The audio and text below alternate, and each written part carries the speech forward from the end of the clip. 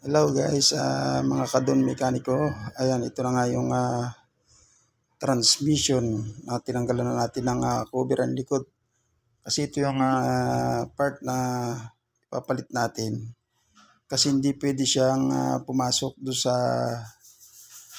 original niya. Kailangan ilipat pa natin yung ah, kanyang ah, gitna.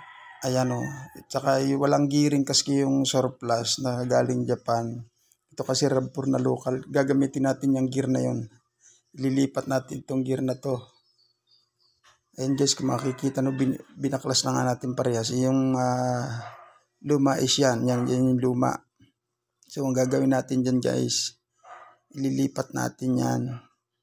Yan, yung, yung gear niyan ililipat doon sa kabila. Ayan, ilipat na natin yung gear. Hindi ko na po nakita kung paano pagtanggal kasi medyo busy tayo guys. Yan guys, ang lilipat natin galing sa, yung gear nitong isa, lilipat dito sa kabila. Yan, yan ang gear kasi mayroon siyang lagay ng speedometer. Yan yung gear na yan, oh, kulay brown. Kaya so ang ginawa natin, nilipat natin to dito. Yan, yan ang nilipat na natin. Nilipat natin yan guys kasi ibang ipin niya malaki. So ililipat natin dito sa kabila. So ang gagamitin natin dyan, yung kanyang housing mismo. Tapos yung gear ililipat. Tapos yung uh, papuntang differential na 4x4, yan ang gagamitin natin. Para magamit natin yung sa speedometer niya, speedometer gear. Ayan, ilipat na natin guys.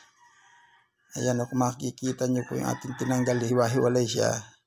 Yan ang kailangan natin. Dapat sukatin natin para yung bearing. Yan ang tinuturo ko sa speedometer. Yan yan ang kailangan natin para gumana speedometer. Kasi yung surplus niya, wala siyang uh, lagyan speedometer guys. Ayan.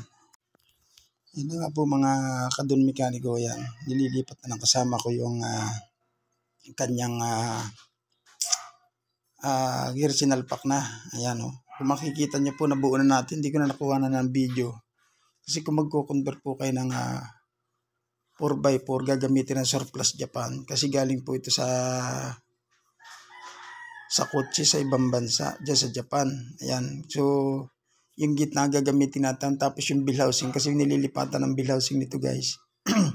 ah, iba yung bill housing yan guys. Ayan, kung makikita nyo, nabuo na natin.